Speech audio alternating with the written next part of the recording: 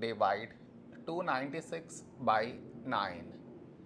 To do this division, we should frame it in this way. 296 here, 9 here.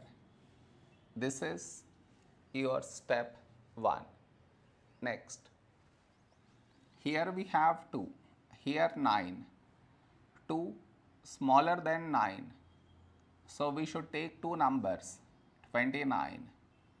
A number close to 29 in 9 table is 9 threes 27. Now we should subtract, we get 2. After this, bring down the beside number. So 6 down, so 26.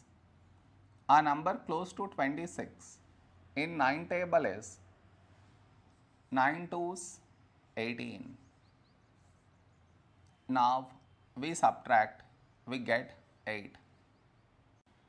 After this, no more numbers to bring it down. So what we do is, we put dot, take 0. So 80.